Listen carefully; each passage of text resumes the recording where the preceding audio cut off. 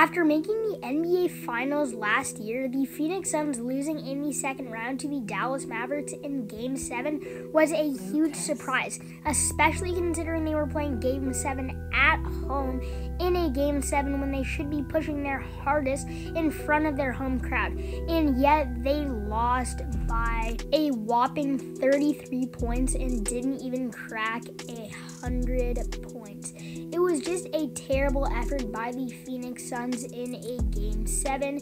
And fun fact Chris Paul has blown his fifth 2 0 lead in his career after this series after losing to the Dallas Mavericks.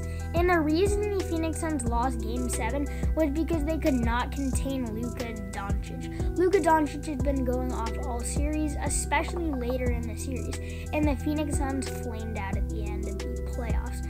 they couldn't get their stars going in really any of the games. Chris Paul made a bunch of turnovers in the entire series, which almost never happens, and Devin Booker did not score well like he usually does.